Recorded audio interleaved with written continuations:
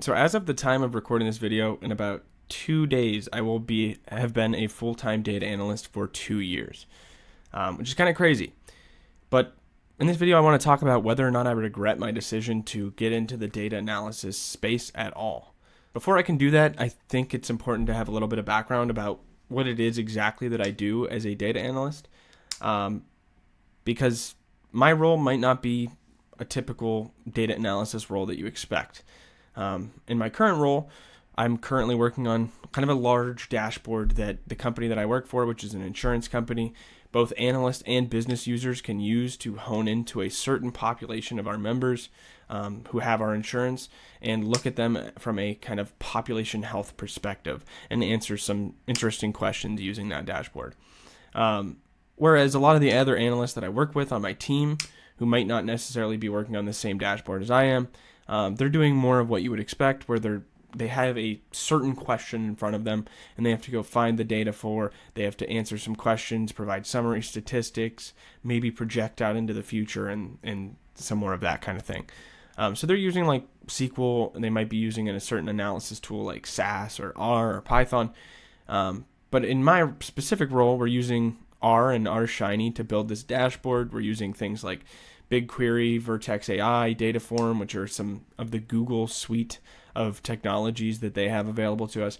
So I think I personally benefit from the fact that I get to deal with a lot different types of technologies um, that maybe other analysts might not get to use all the time. I'll link a video for after this one talking about more exactly what I do, but now that you have a little bit of background, I just want to talk about do I regret my decision to get into this type of field? So the short answer is it depends. Um, I think in the past, when I first started as an analyst, I definitely did more of like the ad hoc type of approach to data analysis where I'm asked a specific question and then I have to go perform a specific set of steps to answer those questions, grab the data, format the data, maybe provide some projections, layer in some additional cuts to the data so that people can kind of segment out um, the answers as they see fit for different groups or populations that they might be interested in. That stuff to me is not really as interesting. Um, it's a little bit harder to focus on. But in my current role, where I get to use like new technologies all the time and I get to learn all the time, um, and I get to test things and try different things in the dashboard, and I also get the feedback of uh, both analysts and business users using the dashboard so that I can improve it in the future. That is a lot more exciting to me. Um, now, maybe just hearing this, it sounds a little bit more almost like a software engineering role. I wouldn't consider myself a software engineer because we're simply just using R Shiny to build the dashboard and then providing a lot of different types of like analysis functions and cuts and data visualizations and things like that. But that's still much more interesting to me than just working on kind of the ad hoc nature of some analyst roles. So for me, that's a huge benefit. Now, for you watching, if you have a job in data analysis or you're looking to get a job in data analysis, this might not be true of your role. So that's kind of one regret of getting into the analysis space is that if I did not end up in a role like this, I think I would be very, very bored. Um, and not in the sense that it's boring to do analysis, because I do like to do analysis, but I think it's boring in the fact that you're oftentimes revisiting the same topic over and over and over again, just for different cuts of a population. Now, this might not be true in other spaces other than kind of health insurance. Uh, maybe if you're working in tech, it's a lot more interesting. But I would have to imagine it's probably not. If you're working for a big tech company, you might be looking at like usage statistics of an application over and over and over again and providing like KPIs on those. That's not super exciting to me. Um, maybe it is to you. Maybe you like that kind of thing. Maybe you like kind of the routine of um, some of those types of analysis. But for me, it just makes it very, very hard to focus on that one thing. So if I had ended up in a role like that, that would be a huge regret for me.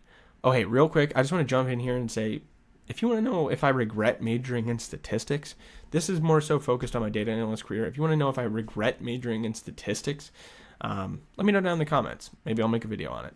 Back to the video. The other benefit of the type of role that I'm in is that it kind of makes your skill development and learning different technologies really, really fast. Because we're working in a fast cycle where we have to learn all the time to improve the dashboard that we're building, um, we get to learn a lot of new things very quickly. And oftentimes, right after we learn them and implement them into the tool, there's a new, novel, and exciting problem that we have to solve. Um, so that's a huge benefit of the current role that I'm in. Um, but the downside of that also is that oftentimes you might start to go down a rabbit hole and then something more important comes up and you have to drop that and move on to the next thing. Um, so if you're not into a certain type of um, work routine where you have to jump quickly between topics, which for me again does make it hard to focus. Um, if you're doing one thing for three days and then all of a sudden you get asked to put out a fire and you have to do something completely different, it's really hard to switch context and kind of go from diving super deep into this one topic and then turning around, doing a 180, and having to focus on something else. Um, so that's not necessarily a regret of the job. It's just a downside or a challenge that you have to overcome in that type of role. But on the positive aspect, as you're learning all these things and you have to move and turn and um, pivot very quickly, I think it gives you a sense of such fast learning that if you ever decide, okay, this job is not for me, you've experienced all these different things and you have a lot of maybe domain knowledge or some expertise in some of these different areas, you could focus in on that one area that you're interested in. So, for example, in my role with building out an R Shiny dashboard, if I just decide that, okay, I love the idea of building R Shiny dashboards, I could try to find a role either at the company that I'm currently at or at a different company, just focusing on that. And the fact that I'm pivoting all these different areas and I'm like pulling all these different things into an R Shiny dashboard, that's a benefit for the other employer. They say, okay, he's he's done this before. He's worked in all these different contexts within an R Shiny dashboard. Um, he might be a good person for the role, and that's the plus side.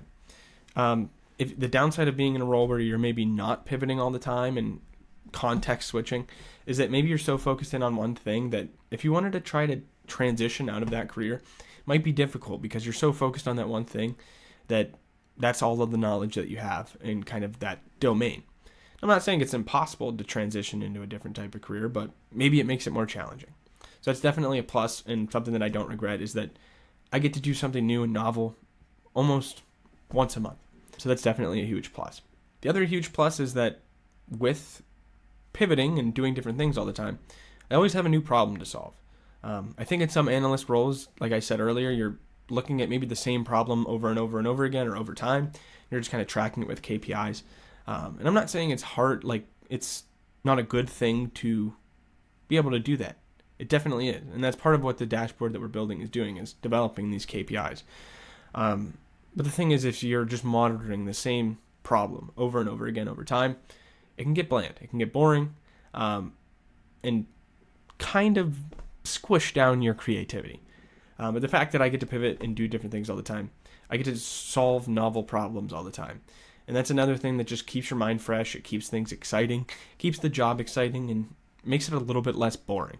Because I don't think any job in the data sphere, you're you're not. I'm gonna say you're never gonna get bored, uh, because there's gonna be days where you just I, I don't feel like doing this. It, it happens to everybody. It happens to me. I'm sure it happens to most of my coworkers too. Um, but that's just something you have to overcome. But the fact that you're doing different things all the time, it can definitely help with that feeling where you're just like, okay, I don't want to do this anymore. Um, the nice thing about my role, like in my company, is that they give me kind of the freedom to say, okay, I am just like I'm so burnout with this certain thing. As long as it's not like something that needs to be done right now, I can pivot. I can say, okay, you know what, I'm going to work on this for a couple of days, and then I'll come back to this other problem that's just been bugging me and dragging on. I'll come back to that next week or something like that. Um, so that's definitely not a regret. But I could see in a role where it, your boss is really coming down to onto you, or your stakeholders are coming down onto you, and they're saying, all right, you need to get this done this week or else, blah, blah, blah. Uh, yeah, that's going to drag on you. It's going to be hard. It's going to be difficult. Um, and if you don't want to do it, and it's not like a novel problem to you that's exciting, um, it can be difficult to overcome that kind of thing. So for me, that's definitely not a regret because my role allows me to be creative, allows me to jump around into different topics if I get too bored with one thing.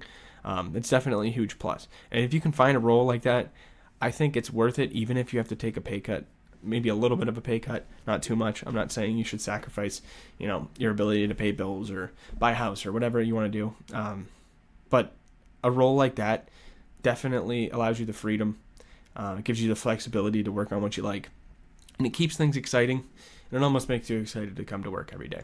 Um, so that's definitely a big thing. The other thing I don't regret about my job, and listen, I promise I'll get to some things that maybe I do regret, some things that are a little bit more challenging. Um, but I just want to talk about the positives first because I really lucked out. I really did get a good role. Um, the other thing is the versatility is that being in this data analysis sphere, um, your your job is kind of in demand in a lot of different industries. I'm not saying as a whole, like in our economy, at least in the United States, um, the job market's great for incoming grads and stuff like that. It's still really challenging and competitive to get a job. But the versatility of being in a data analysis role is that if you can go into maybe an industry that you're not super excited about, like maybe you're not excited about health insurance, but you can get an analyst role in a health insurance company, that allows you the, the ability to move into a different sector later on. Because even though, you know, health insurance or um, healthcare space space might not be directly correlated to um, an engineering or manufacturing space. Um, just the fact that you're able to take complex data from the healthcare space and turn it into something meaning, meaningful for stakeholders, that almost guarantees that you're going to be able to do that in a different sector like manufacturing or engineering. So the versatility of the role, I think, is going to benefit me in the long run. In case I get bored with the health insurance space or healthcare space, I can jump to a different sector. Um, and a lot of the skills I've learned are still going to be transferable. So that's definitely a plus. All right, now let's talk about some of the challenges. Some of the challenges are like things like jumping around all the time. It gives you a steeper learning curve in some sense uh, because not only are you jumping around from topic to topic and not necessarily able to focus on one specific technology or technique or tool, it can be difficult to keep up with the ever changing landscape of things. I, for example, don't have a lot of experience with SAS. And coming into my role, a lot of my coworkers use SAS. A lot of the data analysis sector, um, all within my company, uses SAS. They have existing SAS dashboards or SAS Viya dashboards. Um, and some of that stuff is being transitioned into things like R or Python. But the fact of the matter is, is that other analysts in my company and in my department still use some of these tools like SAS. And so it can be difficult and hard sometimes to have a conversation with them when they're saying, okay, this is how I would do this in SAS. How would I do that in R? But I don't necessarily understand how they did it in SAS. And even when they show me, it can be difficult. I have to learn very quickly, like, okay, this is what this means in SAS. How can I translate that into an R function and help this coworker out? And on the flip side, those people have used SAS their whole lives or for most of their analysis career. As we transition into things like Python and R, they have to learn very quickly on how to use those new technologies. So if you're not comfortable with change and um, learning new things all the time, that can definitely be a drawback. And it's came back to bite me a few times. Even when I first started my role, I wasn't super familiar with SQL. Um, I've used it before, obviously, to get an analyst analyst role, but as you dive further and further into SQL, you find out very quickly, especially like context switching between things like um, Oracle or Teradata or BigQuery, like all these different technologies that you might use SQL in. They kind of have their new own nuances, and you constantly have to be learning in different functions that they might use and the the different syntaxes that they might use. Um, specifically, as you get into BigQuery, there's a whole suite of new functions that I had never even knew existed in any SQL context. So that's definitely kind of a regret of mine, but it's exciting at the same in the same point because you're even though it's difficult to learn, it's difficult to transition and understand all these different things with the steep learning curve. It's also exciting in the fact that you get to learn new things all the time, and um, the the benefit of that is that everybody in the department is going through the same thing. They're all learning things very quickly and trying to understand stuff. And you could just reach out and say, "Hey, I knew you're starting to learn BigQuery. How do you do this in BigQuery?" Um, and oftentimes you can find somebody pretty quickly who knows how to do what you're trying to do. So that's definitely a plus, but it, it is difficult to overcome, especially at first. Um, but however, the number one maybe challenge or regret that I have is just working with stakeholders. Oftentimes, when you're working with business users, um, and by business users I mean people in the company who aren't necessarily technical in the sense of data. Um, they often think data analy- analysts or scientists or engineers, they're just always going to have the ability to get exactly what they want. Um, this just isn't true. Sometimes the data is impossible to get. Like maybe they're in the healthcare space, that happens a lot because as an insurance company, they might not have access to a certain type of health record. It just might not be, it might not even be legal for them to have it. And when a stakeholder comes to you and say, okay, I want this, you have to figure out as an analyst, okay, we can't, like, we literally cannot legally do that. We cannot grab that data, and we might not even have access to it to grab it.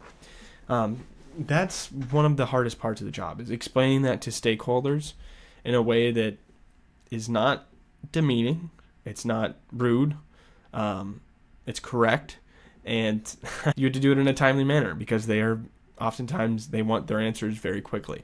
Um, they might not also understand the timelines that it might take to build something, which is oftentimes why you need to learn how to give conservative estimates on how long something's going to take.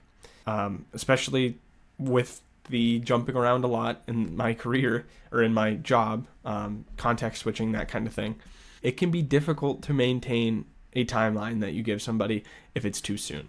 Um, this happens all the time. If somebody says a seemingly an easy question, maybe you have some experience doing it, data can change. Sometimes a data source can change. Um, when you go to pull something, you might realize, oh, they've changed the location of this table or they've changed the field names of this table. And then you have to go back and re understand the data source.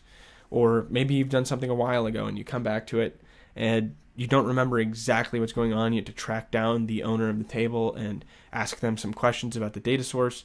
And then you come back to your stakeholder and you give them what you think is the answer, and they're like, oh no, that's not what I wanted at all. I wanted something completely different. This type of stuff happens more than I would like to admit, but it happens more often than you would think uh, as a data analyst, and not just for like somebody like me who's a newer analyst or a newer um, person in the data sphere. It happens a lot for experienced analysts too, because like I said, sometimes it's not even on the analysts themselves. Maybe something has changed recently, and they just didn't do a good job at making it aware to the people using that table. That kind of thing happens a lot. Um, I wouldn't consider it a regret because it's just kind of an occupational hazard. It's kind of part of the job. Um, but it is very difficult to overcome sometimes. It's very difficult to come back to a stakeholder who maybe you've given one timeline and you have to come back and say, "Look, I'm there's no way I'm going to get it done this week. It's going to be more like 3 or 4 weeks down the line." Um, and oftentimes like like I said, stakeholders might not understand that. They might say, "Okay, what are you doing? Just messing around? Like, why can't you get to this to me this week? It's not a hard question to answer." Um, and well, maybe it's a seemingly easy question, sometimes the data behind it or the analysis that you have to do, or just other competing um, asks, can take over um, and kind of stretch that timeline out. So that's definitely probably the hardest part of the job. Overall, though, I don't regret being an analyst. I love my role. I love the fact that I get to jump around a lot. Uh, but if you want to see more about what I do on a day to day basis, check out this video next. But other than that, thanks for watching.